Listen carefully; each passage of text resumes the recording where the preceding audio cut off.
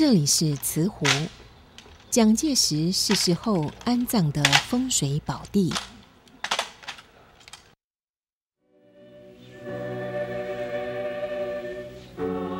一九七五年四月五日，蒋介石病逝于台湾。